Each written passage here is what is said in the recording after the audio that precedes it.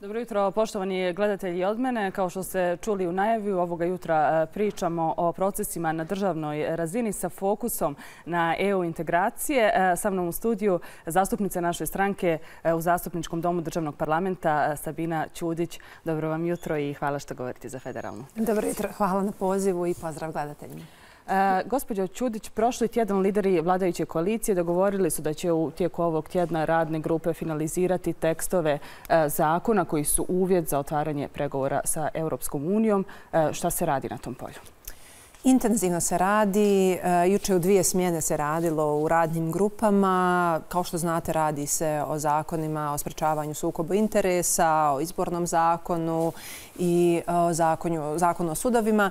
E, u tom smislu mogu reći da postoji napredak ako ništa u ovoj volji da se u ovom zadnjim minutama, rekla bih, pred odluku Evropske unije ulože ogromni napori da se postigne dogovor. Što se nas tiče, ti zakoni bi već davno bili usvojeni. Ja ću iskoristiti i ovu priliku još jednom da napomenem birače svih stranaka na državnom nivou koje čine državnu koaliciju da evo kada je u pitanju barem zakon o sprečavanju sukoba interesa, ne radi se o etničkom zakonu, ne radi se o etničkim prefiksima, ne radi se, radi se jednostavno, pojednostavljeno ću reći o tome da mi političari pošteno prijavljujemo vlastitu imovinu. Svako ko je protiv tog zakona, koji je primarni uslov za otvaranje pregovora, zaista ima šta da odgovori svojim biračima u čemu je problem, zašto imaju problem da prijavljuju svoju imovinu i u konačnici mislim da trebamo usvojiti onaj zakon koji ispunjava evropske standarde, da nema dileme u Briselu da li smo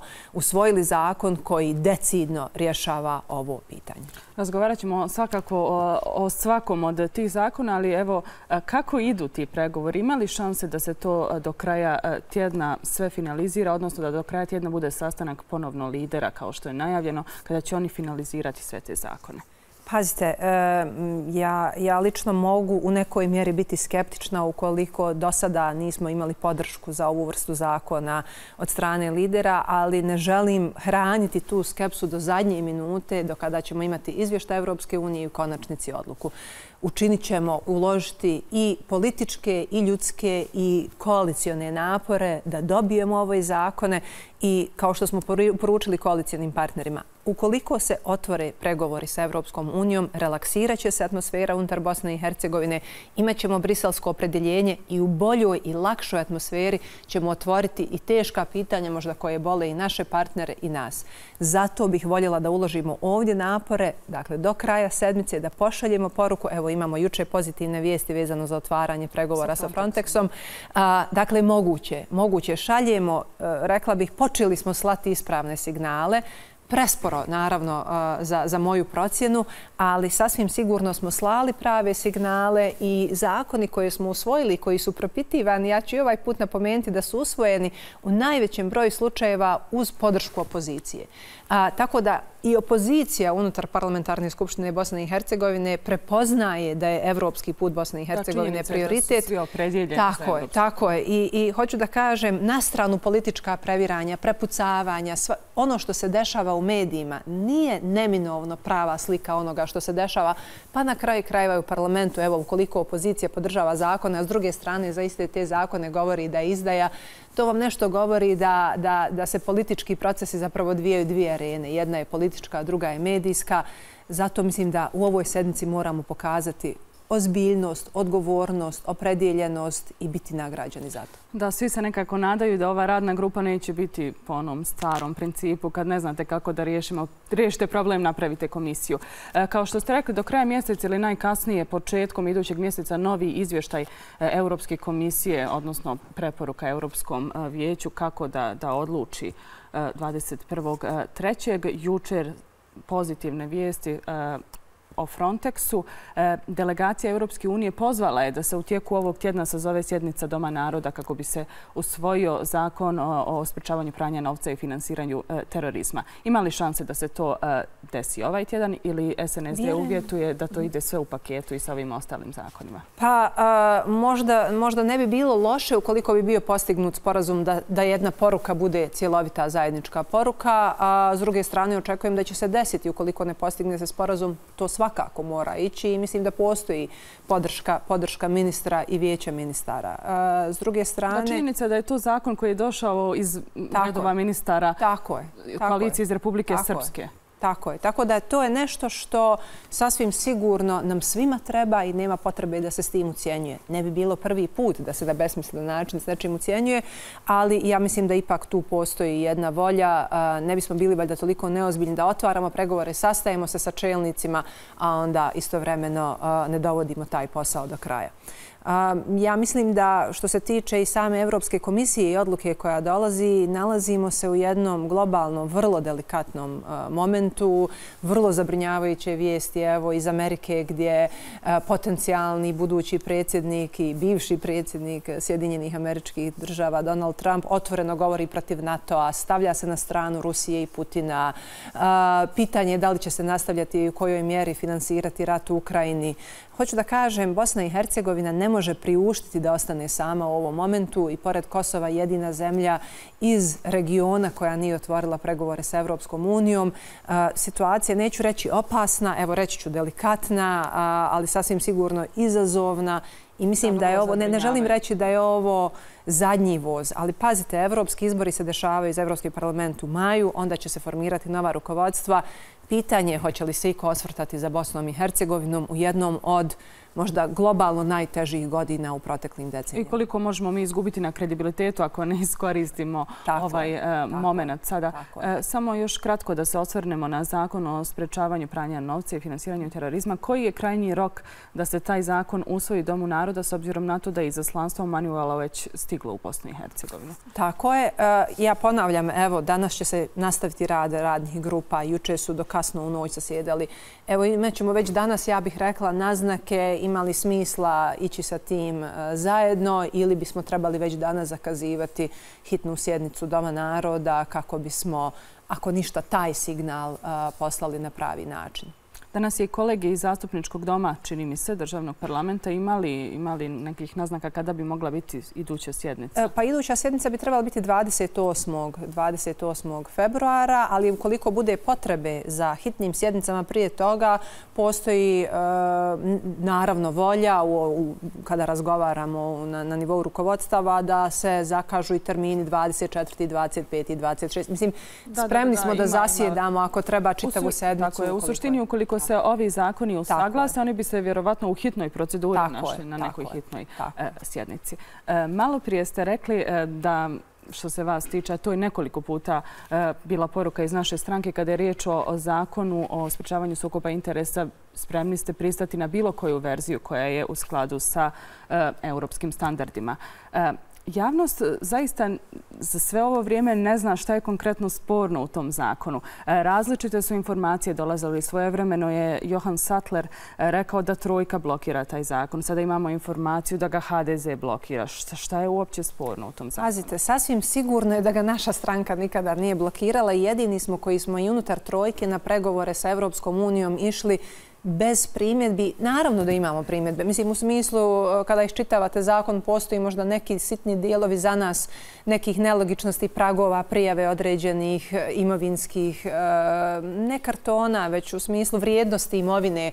Da li prijavljujete sve od vrijednosti od 1000 km ili od 5000 km, kako to u praksi izgleda i koje su uslovno rečeno kaznene odredbe ukoliko ali za nas je bilo prioritetno da se zakon usvoji ako trebaju svojoj najradikalnijoj, naj, e, rekla bih, oštrijoj verziji, pa ga onda možemo, ukoliko praksa pokaže, pazite, mi slične odredbe, gotovo identične, imamo u Sarajevskom kantonu, kada su svi mislili da će se taj zakon zloupotrebljavati protiv političara i evo, nemamo tu situaciju da zaista ljudi koji čestito prijavljuju i na kraju krajeva ne, ne ulaze u situacije koje se tretiraju kao sukob interesa da obnašate više funkcija u isto vrijeme ili da ste u sukobu.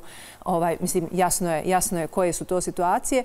A, s druge strane, bilo je, moram priznati, primjedbi iz stranaka trojke koji su upravo na te tehničke stvari imali primjedbe, kolege iz NIPA i kolege iz SDP-a i ušli su u redan, ja bih rekla, e, korektan pregovarački proces, ne pregovarački proces, ali tehnički proces, e, član po član, e, rješavanja određenih, po njihovom mišljenju, nelogičnosti. Te su stvari stvari, ja bih rekla, u potpunosti, što se tiče sa strane trojke, usaglašene sa Evropskom unijom unijom, a sada imamo određene primjedbe oko strukture komisija koja bi način izbora komisije, etnička struktura komisije i tako dalje. Tako da to su sada stvari.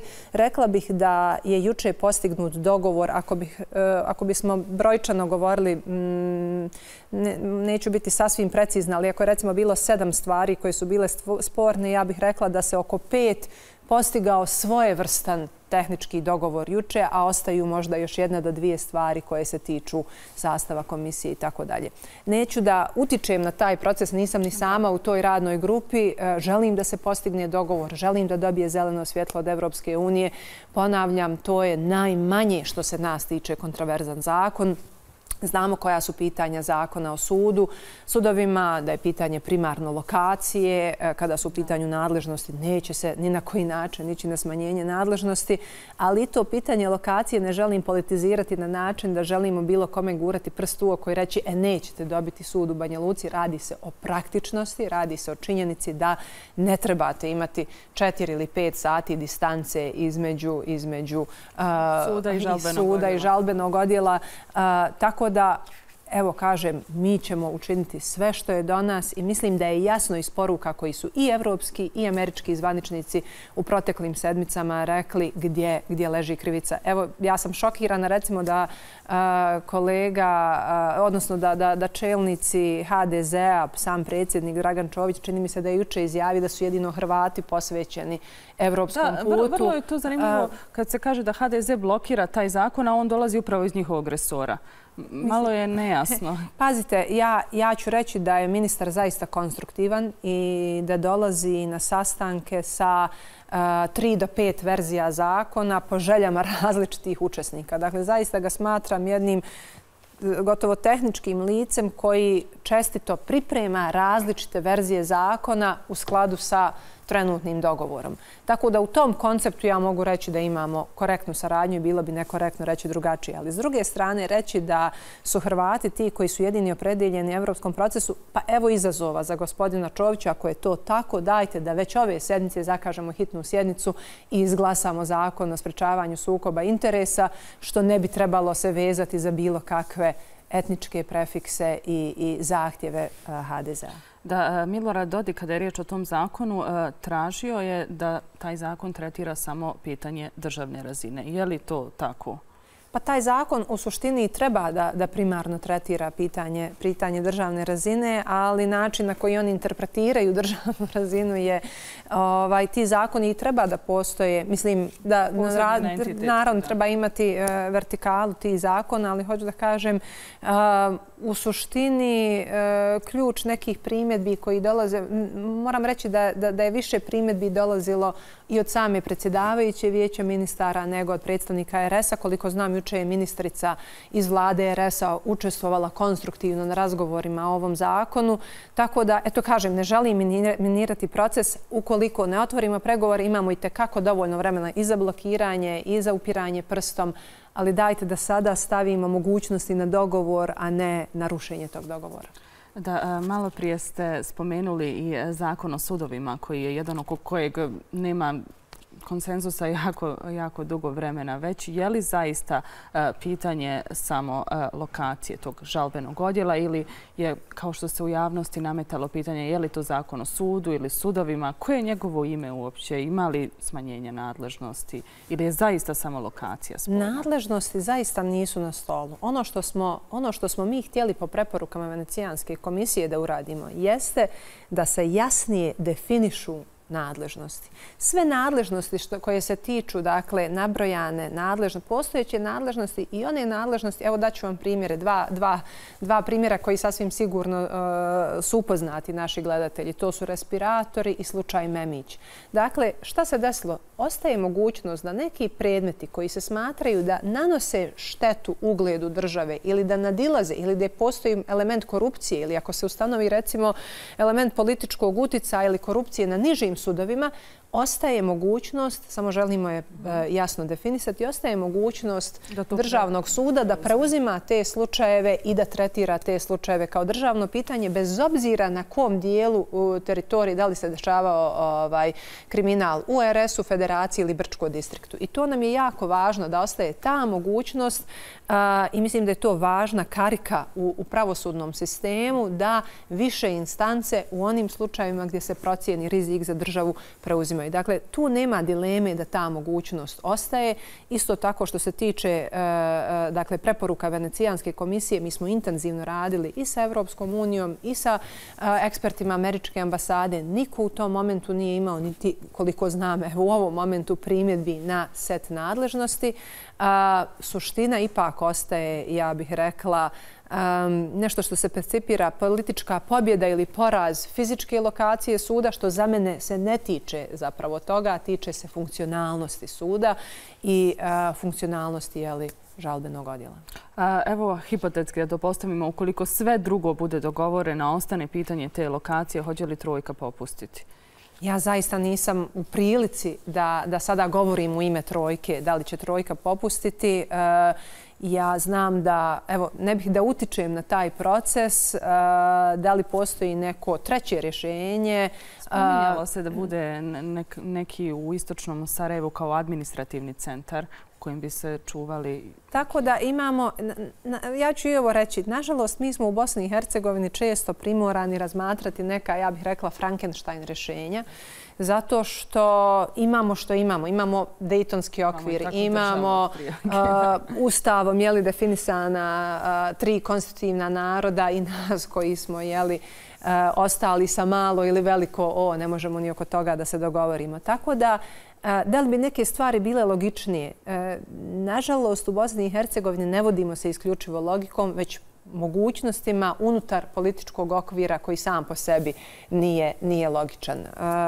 I kada govorimo, evo, jedan od zakona, izborni zakon u smislu dijelu koji se tiče integriteta, isto važi za zakon i o sprečavanju sukoba interesa. Kome nije u interesu da se normalno prebroje glasovi? To je treba i birači da se zapitaju. Zašto glasam za stranku koja ne želi da se pošteno prebroje glasovi? Zašto to uopće ne trebalo biti političko pitanje. To uopšte nije političko pitanje. Dakle, to je pitanje i evo, konzistentno, kad smo bili opozicija, želili smo paket integriteta. Kad smo na vlasti, ako ponovo budemo opozicija ili ponovo vlast, dakle, tražite konzistentnost u smislu uh, najosnovnije pravo jeste da birate i da se taj vaš glas pošteno broji. Tako da, Kažu da kažem, uh, ne možemo se nažalost voditi logikom i kad sam radila sa studentima političkih nauka u BiH, kad kažemo našem ustavnom rješenju, kada razgovaramo, nije pitanje efikasnosti, logike, pa čak ni pravde. Vrlo je, vrlo je teško tražiti logiku u bilo kakvim procesima, jer kad imate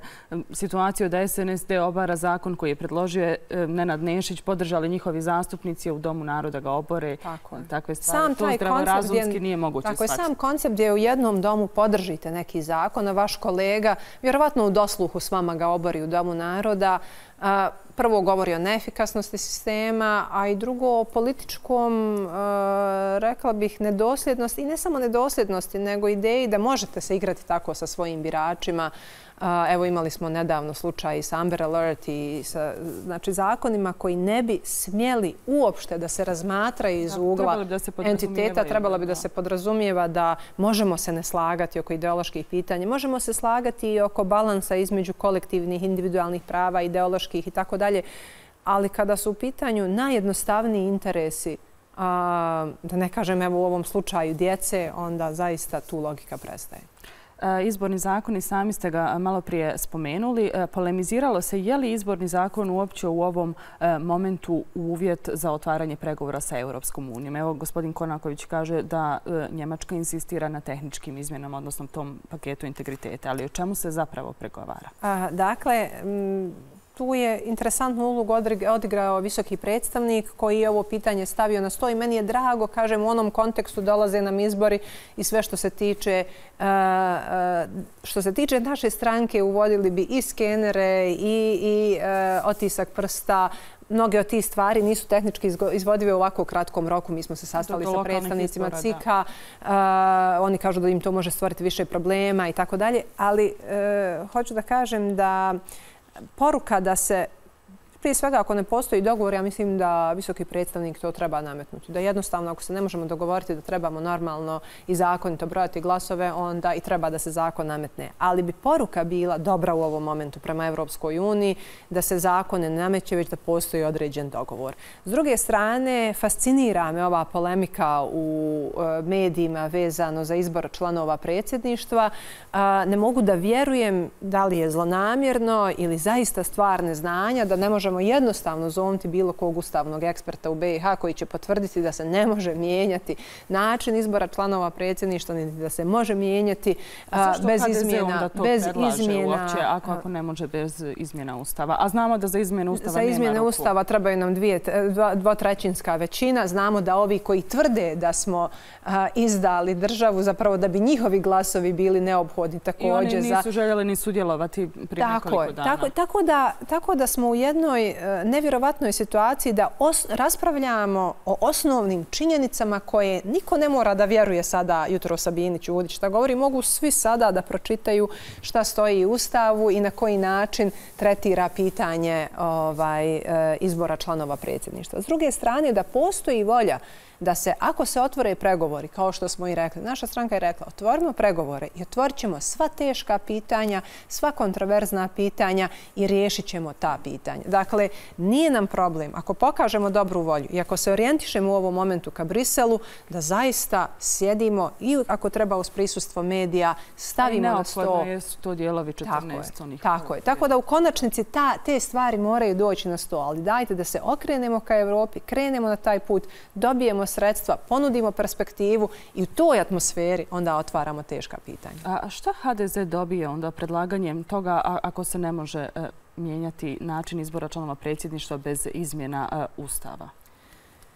Pa, znate šta, e, dobija to da HNS postaje u nekoj mjeri nervozan i dešava se određena pluralizacija i hrvatskog političkog prostora. I u toj pluralizaciji otvarate, ukoliko djelujete ranjivi kao HDZ, E, ukoliko djelujete ranjivi, onda se postavlja pitanje, aha, nametnuli ste ritam oko izbornog zakona, dali neke rokove, niste ih ispoštovali i sada se mora prikazati i prema HNS-u i prema HDZ-ovim biračima e, određena, određena dinamika. Mislim da je to generalno situacija u Bosni i Hercegovini gdje se tim nekim e, mačo pristupom i tvrdnjama mi ćemo to nametnuti, mi ćemo to dobiti i tako dalje, smo došli u ovu situaciju gdje jesmo u proteklim decenijama. Vi se sjećate apelacija SDA o imenu, e, o neustavnosti imena Republika Srpska, pa smo imali velika obećanja oko, e, oko tužbi protiv, protiv Srbije. Hoću da kažem,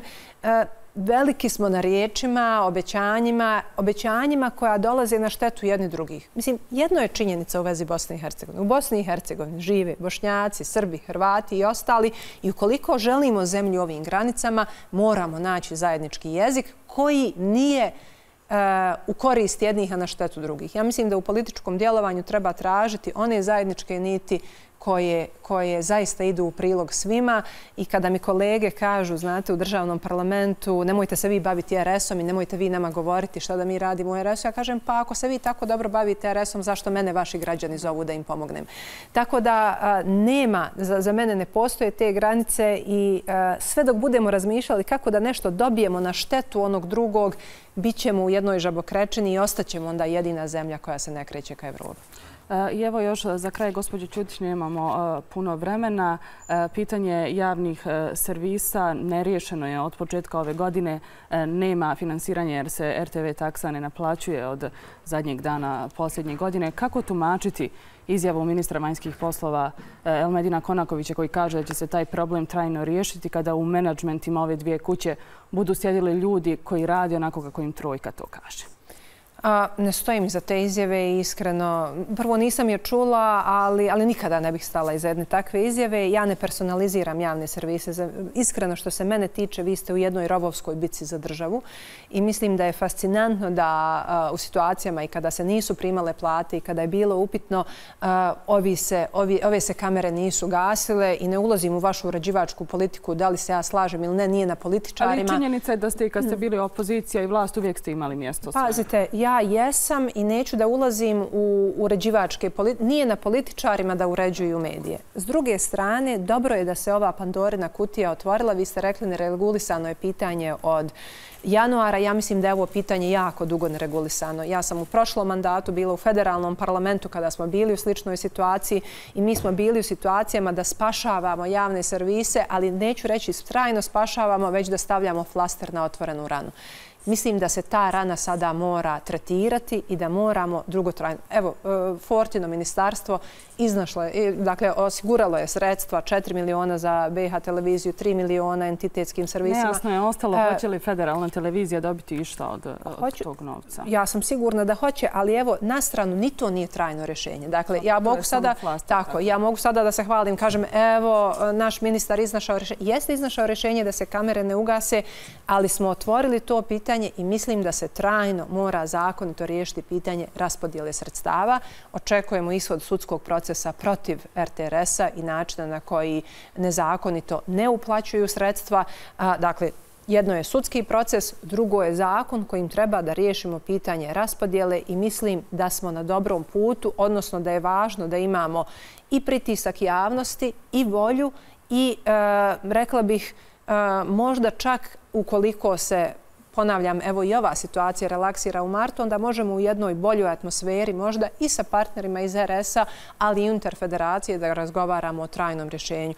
Neću biti neozbiljna i obećati neki datum, ali sam sigurna da u naredna tri mjeseca uz napor uh, i uvođenje u zakonitost, dakle, i, i, i upravljačke struktura, ali što je još važnije, distribuciju sredstava, možemo doći. države jer je to zaista problem. Nadaju se naravno e, i svi radnici obje kuće jer oni nisu e, krivi što je situacija. Jasno. I mislim da je najgore što se može desiti da se radnici tretiraju kao neko, da se te dvije televizije trebaju tretirati kao dvije zaraćene strane. Ne pristajem na to.